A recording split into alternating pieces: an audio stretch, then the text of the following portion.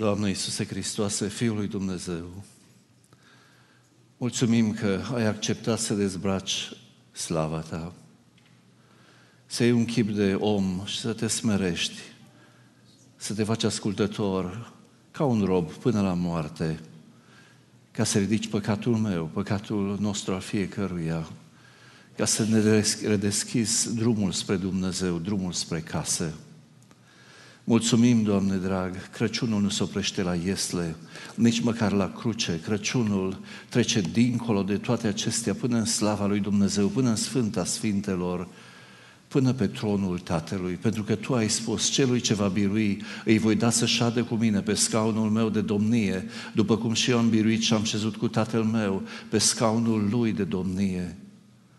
Doamne, nu în rângere ai supus lumea viitoare, ci nouă oamenilor. Ne pare rău că am vândut moștenirea, am vândut tronul, am vândut slava și astăzi suntem aici, lipsiți de ea și fără tine nu mai avem nicio nădejde de întoarcere acasă.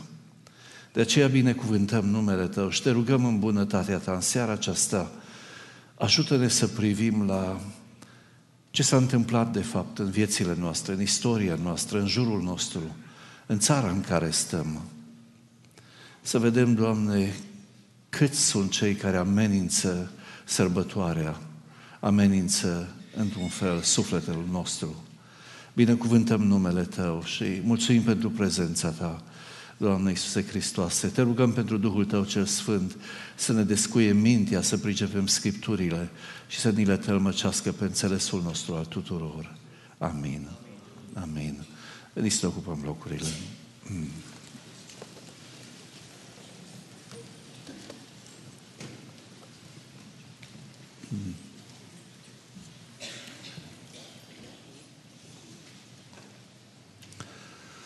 Câți dintre dumneavoastră ați făcut cumpărături la Target în ultima lună? I don't know why you laugh. Mm. Am învățat și eu aici că Crăciunul a primit o nouă denumire și îi spuneți the season of more. The season of more food, of more shopping, of more toys, of more of everything. Și realmente este copleșitor să vezi ce se întâmplă cu sărbătoarea noastră. Dar te îngrozești când afli că într-o singură lună 40 de milioane de carduri au fost citite și furate, așa că uh, uitați-vă, vă rog, la conturile noastre bancare să vedeți ce se întâmplă cu ele. Dar în seara asta dați-mi voie să las lumea uh, cumpărăturilor și să vă pun o întrebare puțin mai directă. Oare nu cumva mi-a furat cineva Crăciunul? Că dacă îmi fură câțiva dolari de pe card, omul nu trăiește numai cu pâine, ci cu orice cuvânt care este din gura lui Dumnezeu. Dar dacă ți-a furat cineva Crăciunul, ți-a furat sufletul și veșnicia. Dar poate că veți întreba, de ce să mi-l fure cineva când Crăciunul nu-i decât, uitați-vă în jur, lumini și braz, mă bucur că este o cruce uh, acolo, ca să ne ducem aminte de ce a venit Domnul Isus Hristos. Crăciunul de obicei este doar bucurie și colind și ne bucurăm de el și copiii și noi cei mai în vârstă. Aș vrea să trec în revistă câteva din personajele Crăciunului. În primul rând este Arhanghelul Gavril, care vine cu anunțul la Fecioara Maria din Nazaret. Apoi este Fecioara însăși, Maria este soțul ei Iosif sau viitorul ei soț Iosif, dar cum să-l uităm pe prunc sau îngerul mesager care vorbește lui Iosif în vis, vorbește cuplului să fugă în Egipt. Cu siguranță nu putem uita pe păstori sau corul îngeresc din noaptea aceea. Dar cred că foarte mulți dintre noi în zilele noastre uităm, uităm un alt personaj foarte prezent de când este istoria și de mult mai de mult decât am fost noi aduși pe scenă, noi oamenii. Există un personaj pe care în momentul în care îl uiți, el are libertatea să lucreze în viața ta, Așa cum hackerii, dragii mei, până nu știe nimeni, au libertatea să adune milioane de carduri și să le folosească la vremea lor, așa există un personaj ciudat. Și dați-mi voie să vă spun când și cum s-a supărat el pe noi și pe pruncul din Iesle. În Genesa, capitolul 3, versetul 15, Dumnezeu a rostit primul cuvânt de Crăciun, primul cuvânt de întrupare. Vrășmășie voi pune între tine și femeie, între sămânța ta și sămânța ei. Aceasta îți va zdrobi capul și tu îi vei zdrobi călcâiul. Aceasta îți va zdrobi capul și tu îi vei zdrobi călcâiul. Pune-te în locul lui. Îl cheamă diavolul sau șarpele cel vechi sau satan. Ce ai face dacă ai auzi astfel de cuvinte? Cred că ai face tot ce ți-ar sta în putință să anihilezi acest plan al lui Dumnezeu. Dragii mei, în acest blestem binecuvântare sau blestem promisiune, uh, puteți găsi rădăcinile tuturor intrigilor iadului de-a lungul întregii istorii, dar în același timp și nădejdea oamenilor. Pentru că în prezența lui era Adam și Eva, care tocmai păcătuiseră și Dumnezeu le spune, va veni o răzbunare, va veni o sămânță a femeii, ca să zdrobească capul șarpelui și să elibereze omenirea de robia păcatului. Primul cuvânt de întrupare rostit în istoria noastră este Genesa 3 cu 15, dar din păcate el a declanșat un război, un, un conflict cosmic. Dați-mi voie să sar în ultima carte din Biblie, Capitolul 12, versetele, capitolul 12 din Apocalipsa, versetul 5, 1 la 15 sau 1 la 5, cel puțin acum.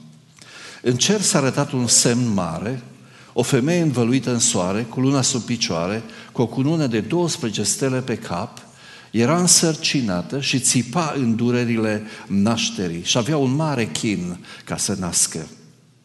Nu știu cum a născut Maria, dar cu siguranță imaginea aceasta vorbește despre noaptea respectivă.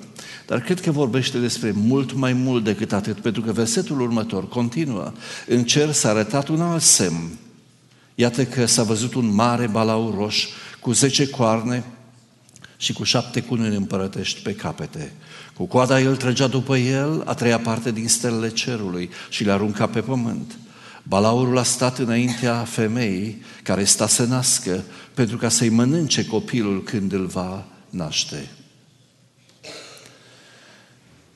În momentul în care a apărut primul om, prima sămânță a femeii pe planeta noastră, Cain, Scriptura spune că Dumnezeu i-a chemat și pe el și pe fratele lui Abel și probabil că i-a instruit cu privire la jertfe, dar în momentul în care Dumnezeu respinge jertfa lui Cain și o primește pe a lui Abel, diavolul intră în inima lui Cain și începe să lucreze, dragii mei, împotriva planului lui Dumnezeu și sămânța femeii este omorâtă, zdrobită și el se bucură că a scăpat. Până când se naște cel înlocuit sau înlocuitorul Set.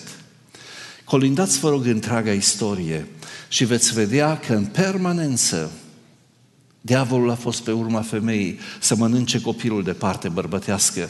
V-aș duce pe vremea urmașilor lui David, pe vremea Taliei. Și a pus în gând această femeie străină, femeie idolatre, ajunsă pe tronul lui Iuda, să ucidă pe toți urmașii lui David. Un pruncușor este scăpat ca prin minune și dus în templu și ajunge împărat mai târziu. Dar Dați-mi voie să vin în noaptea de Crăciun să vă întreb, noi cântăm doar de înger, de colin, de pace, de bucurie, oare chiar a dormit satana în noaptea aceea? Oare nu știa ce se întâmplă? Oare nu o fi fost prezent? Este suficient să vă aduc aminte de istoria magilor din Matei, capitolul 2. Probabil că urmașa lui Daniel din Babilon auzind de profețiile și cunoscând profețiile Vechiului Testament, au pornit pe urma stelei și au ajuns în palatul lui Irod.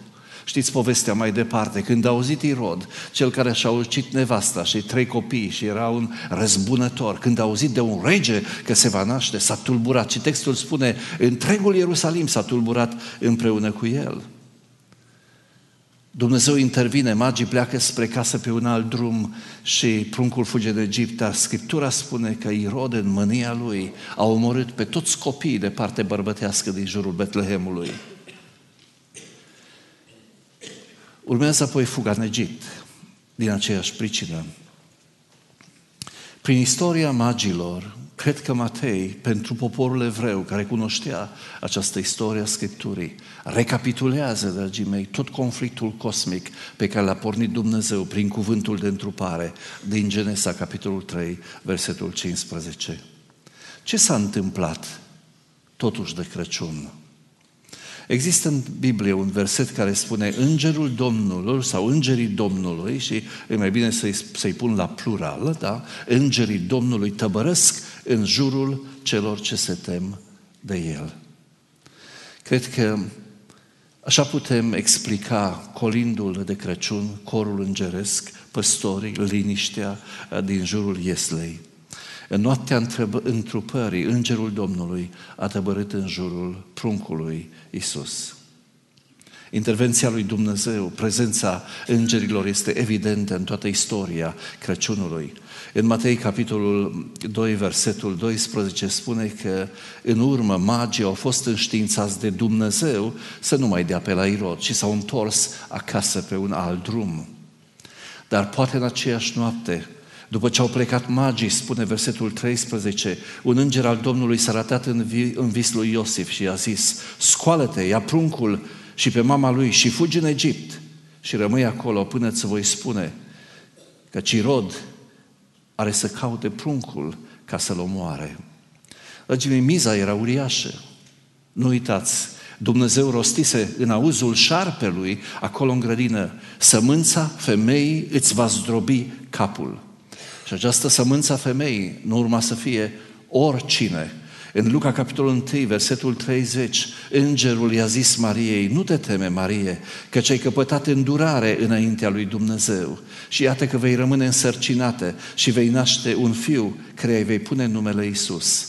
El va fi mare, căci va fi chemat Fiul Celui Prea Înalt. Pruncul din Iese era, era Dumnezeu adevărat, din Dumnezeu adevărat, dezbrăcat de slava Lui și coborât între noi ca să dea bătălia pe care noi am pierdut-o prin Adam cel din tei. Și Domnul Dumnezeu îi va da scaunul de domnie al tatălui său David.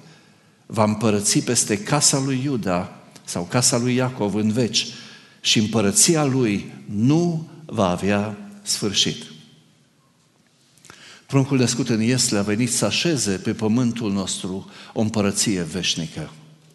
Dar că această împărăție să poată fi așezată, lucrările diavolului trebuiau nimicite. De aceea, vrășmașul de căpătâi al lui Satan, al șarpelui, era tocmai pruncul acesta născut în Iesle, sămânța femeii, după promisiunea lui Dumnezeu. Dragii mei, sosise ceasul astral al omenirii. Noaptea de Crăciun nu ca oricare altă noapte, este o noapte absolut unică în universul nostru. Pentru că în acest ceas urma să se împlinească sau să pornească împlinirea promisiunii sau sentinței pe care Dumnezeu a dat-o în Eden. Vrășmășie voi pune între tine și femeie, între sămânța ta și sămânța ei. Aceasta îți va zdrobi capul și tu îi vei zdrobi călcâiul. Pe pământ era pace, pentru că îngerii Domnului tăbărâsără în jurul pruncului, în jurul Ieslei, în jurul familiei sfinte.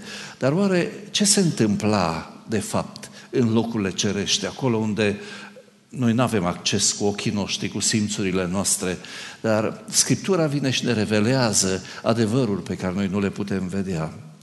Dați-mi voie să citesc mai departe textul din Apocalipsa, versetul 5 din capitolul 12. Ea a născut un fiu, un copil de parte bărbătească. El are să cârmuiască toate neamurile cu toiac de fier. Copilul a fost răpit la Dumnezeu și la scaunul lui de domnie și versetul 7 continuă. Și în cer s-a făcut un război. Mihail și îngerii lui s-au luptat cu Balaurul și Balaurul cu îngerii lui s-au luptat și ei, dar n-au putut birui. Și locul lor nu li s-a mai găsit în cer. Și balaurul cel mare, șarpele cel vechi, numit diavolul și satana, acela care înșeală întreaga lume, a fost aruncat pe pământ și împreună cu el au fost aruncați și îngerii lui. De aceea, bucurați-vă ceruri și voi care locuiți în ceruri. Dar vai de voi, pământ și mare, căci diavolul s-a coborât la voi cuprins de o mânie mare, fiindcă știe care puțină vreme. Dragii mei, dincolo de brad, de globuri, de betele, de cadouri, de întâlniri familiare, de bucurie, ar fi păcat să uităm de faptul că el, șarpele, n-a murit. Este viu, este prezent. Și vreau să vă spun că a realizat aproape ce și-a dorit. Pentru majoritatea dintre noi ne-a furat Crăciunul. Ne-a lăsat cu celelalte lucruri. The season of more.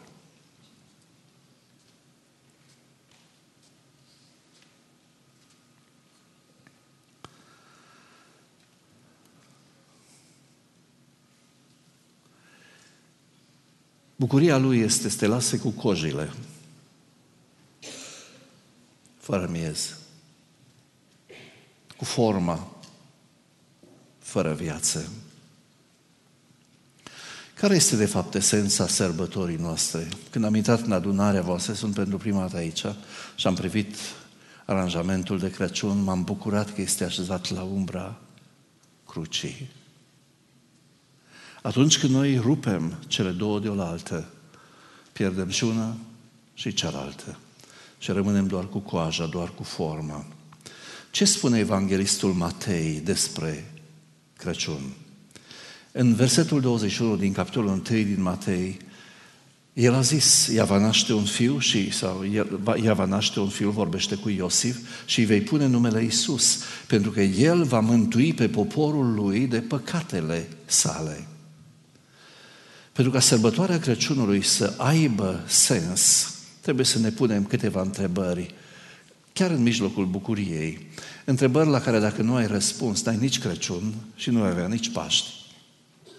În primul rând, ce este păcatul? Observați, pruncul acesta s-a născut ca să mântuiască pe poporul lui de păcatele sale. În al doilea rând, care este consecința ultima păcatului? Noi păcătuim și știm lucrul acesta de mici copii, suntem conștienți de faptul că facem lucruri care nu trebuie să le facem. Dumnezeu ne-a dat o conștiință și conștiința vorbește cu noi până când nu adormim și nu o călcăm în picioare. Dar avem impresia că un te rog iartă-mă sau un Doamne iartă-mă rezolvă problemele. Nu, păcatul are consecințe mult mai mari, iar consecințele lui finale sunt dezastruoase. Este despărțirea noastră finală de Dumnezeu.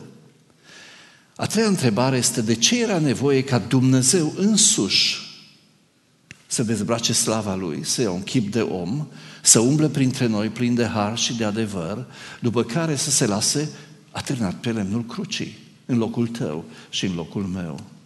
Dragii mei, Scriptura ne spune că noi toți am păcătuit, suntem lipsiți de slava lui Dumnezeu. Indiferent cine ești și cum te cheamă, indiferent câți bani ai și câte școli ai, ești un păcătos, așa cum sunt și eu. Scriptura ne spune că mânia lui Dumnezeu se descoperă din cer împotriva oricărei necinstire a lui Dumnezeu și împotriva oricăror nelegiuiri a oamenilor care năduși adevărul în nelegiuirea lor. A necisti pe Dumnezeu înseamnă a gândi rău cu privire la El și a comite nelegiuirea înseamnă a transforma gândul în fapt. Așa cum Eva a văzut că pomul este bun de mâncat, plăcut de privit, de dorit să deschidă cuiva mintea, și ea a început să gândească rău despre Dumnezeu când șarpele a spus, a, Dumnezeu știe că veți fi ca El. Dar când a întins mâna și a luat din fructul oprit, gândul s-a transformat în faptă și Dumnezeu a trebuit să pedepsească cu moartea păcatul, cu alungarea din prezența Lui. Scriptura ne spune că din moment ce Dumnezeu ne-a legat de Adam, de protopărintele nostru, noi toți suntem născuți în nelegiuire și în păcat. Cu alte cuvinte, Dumnezeu însuși a închis pe toți oamenii în neascultare pentru ca să se poată îndura prin al doilea Adam de toți. În Roman, capitolul 5, versetul 15, Pavel spune, dacă prin greșeala unuia singur cei mulți au fost loviți cu moartea, apoi cu mult mai mult, harul lui Dumnezeu și darul pe care ne l-a făcut harul acesta într-unul singur, Adică în Isus Hristos s-a dat din belșug celor mulți. De ce a trebuit Dumnezeu să coboare într-un trup ca al meu și al tău? Fiul lui Dumnezeu a devenit om ca tine, om ca mine, pentru ca să poată fi mielul lui Dumnezeu care ridică păcatul lumii. Atunci când Dumnezeu a zis plata păcatului este moartea și când primii oameni au păcătuit, în harul lui Dumnezeu a omorât niște animale nevinovate în locul lor. I-a îmbrăcat cu haine de piele și i-a alungat din prezența lui. Dar lucrul acesta nu putea rămâne în picioare, pentru că un Dumnezeu drept nu poate schimba un om cu miel. Noi suntem coroana creațiunii lui Dumnezeu. Noi purtăm chipul lui Dumnezeu. Niciun animal nu este egalul nostru, dragii mei, oricât de mult i-am iubi. Și de aceea, toate jertfele animale care au fost aduse în istorie n-au făcut altceva decât să-L încarce pe Dumnezeu cu vinovăție. Satana să-i râdă în nas. Să-i spună, hei, tu zici că ești un om Dumnezeu drept. Nu poți face așa ceva. Singura șansă era ca El însuși, legiuitorul, să vină să plătească pentru păcatele noastre. Și prin întruparea Fiului lui Dumnezeu, El a devenit om ca noi, ca să poată fi mielul lui Dumnezeu, care ridică păcatul lumii. Dacă noaptea de Crăciun nu văd zorile Paștelui, nu știu cine a avut ideea să combine crucea cu Crăciunul, dar nu cred că ele pot fi dispărțite. Dacă noaptea de Crăciun nu văd zorile Paștelui, am trecut pe lângă esența Crăciunului. Dragii mei, niți dragi copii, și eu am doi nepoți aici și doi nepoți acasă și suntem cu soția noastră, cu soția mea rupți între două familii, între două lumi. Și azi am auzit vestea că nepoțica noastră de trei ani trebuie să fugă cu ea la urgență. Mi se sfâșie inima. Nu pot să ajut.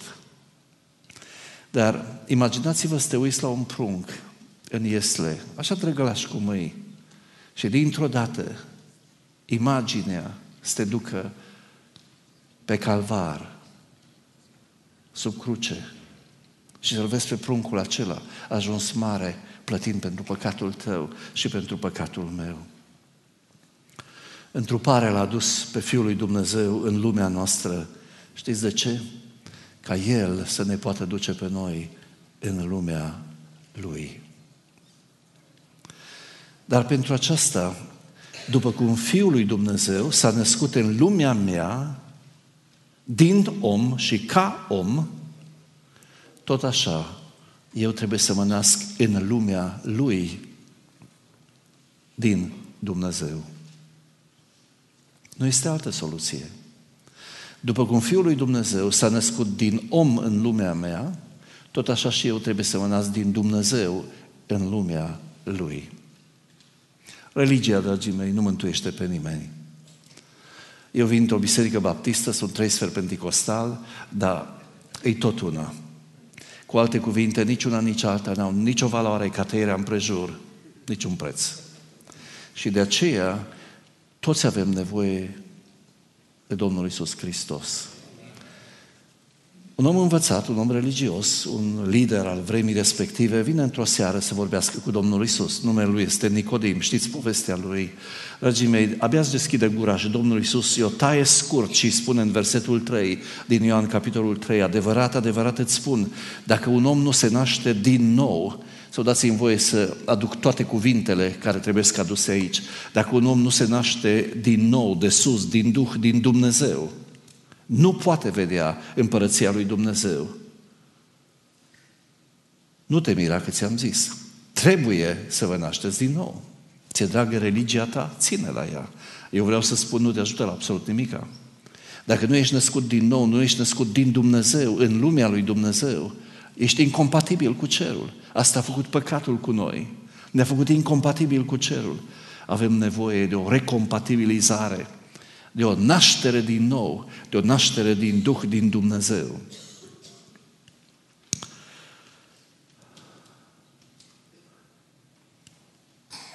E ajung de Crăciun. Dragii mei, nu lăsați să vi se fure Crăciunul. Știu ce se va întâmpla după ce plecăm de aici. Ajungem acasă, mese bogate, nu știu dacă obiceiul este să deschizi dimineața sau acum seara, cadouri, bucurie, prieteni. Întrebarea mea este dacă nu cumva a trebui să fie ceva mai mult. Sărbătoarea este mult mai mult decât iesle, prunc, păstori, daruri, brad, globuri, betele, prăjituri, cozonaci. Mult mai mult. Dacă am realizat pe cine sărbătorim, care este esența acestei seri, dragii mei, poate că am petrece mai mult cu fața la pământ înaintea Lui. Așa cum s-au închinat și magii.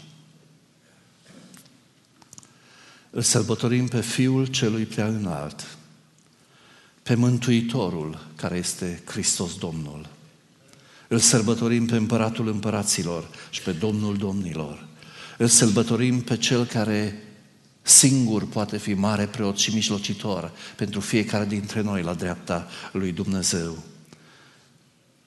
Îl sărbătorim pe prorocul cel așteptat, milenii în lume. Îl sărbătorim pe Domnul și Dumnezeul nostru. Poate că în fața Ieslei ar trebui să facem ce a făcut Toma. Să cădem înaintea Lui, rușinați de cuvintele pe care le-am zis, dacă nu voi pune degetul în mâna Lui și mâna în palma Lui, nu voi crede. Și să rostim din toată inima noastră, Domnul meu și Dumnezeul meu. The season of more. Well, m-aș bucura să fie adevărat. Dacă acel mor, acel mai mult, ar fi centrat în Domnul Isus Hristos, oare nu cumva ni s-a furat Crăciunul? M-aș bucura să mă reîntorc după anul nou și să vă întreb dacă a fost sau nu adevărat. Țineți minte întrebarea și Bunul Dumnezeu să ne ajute să răspundem la ea încă din seara aceasta. Să păstrăm ceea ce nimeni nu ne poate fura. Amin.